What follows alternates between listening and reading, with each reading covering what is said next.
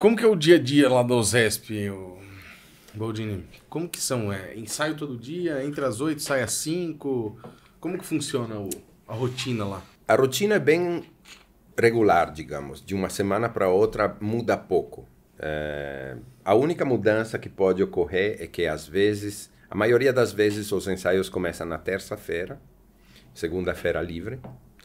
É... Você não tem que ir lá na segunda? Não algumas, em algumas semanas, devido a uma peça especialmente complicada, terceira de Mahler, por exemplo, muito longa, complicada, algumas vezes é, o dia livre passa a ser domingo e, e segunda-feira começa já os ensaios. Mas na maioria dos casos temos dois ensaios na terça, de manhã, das 10 até meio-dia e meio, e de tarde das 2 às 4 e meia.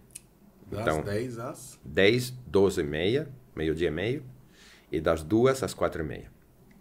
Então, são 5 horas, horas por, dia. por, dia. na segunda, idem na, eh, na terça, desculpa, uhum. idem na quarta, de manhã e de tarde. Quinta de manhã, ensaio geral, de 3 horas, das 10 a 1. Quinta noite, concerto. Sexta noite, concerto. Sábado à tarde, concerto. Com o mesmo programa. E quando tem solista?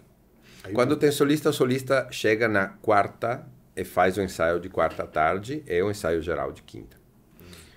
Quinta e, noite já toca. É, já toca.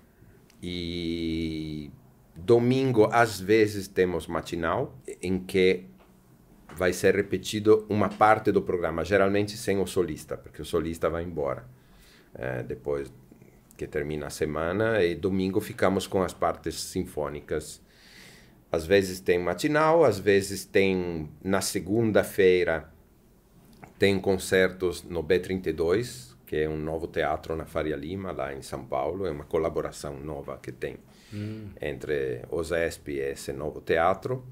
Então, digamos que o dia livre, o dia livre é, é a única coisa que varia um pouquinho. Às vezes é, às vezes é domingo, às vezes é segunda, dependendo, dependendo das situações.